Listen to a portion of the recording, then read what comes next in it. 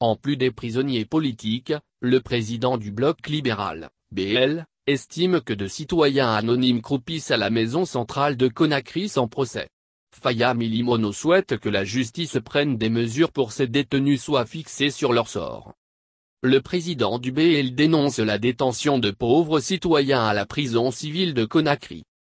Apostrophe par rapport à nos compatriotes qui sont à la maison centrale de Conakry, depuis que j'ai été locataire de cette prison, je ne cesse d'attirer l'attention de tout le monde et d'interpeller la justice par rapport aux injustices dont sont victimes ceux qui sont là-bas pour des raisons politiques ou autres apostrophe, indique Ofaya Milimono. J'ai dénoncé à plusieurs reprises le fait que nous ayons des gens qui attendent d'être jugés depuis 5 ou 10 ans pour des délits qui ne les auraient envoyés en prison même pour une semaine. Je dénonce cela en longueur de journée apostrophe, ajoute-t-il. Aujourd'hui, d'après son constat, nous avons des gens qui sont détenus à la maison centrale pour des raisons non fondées.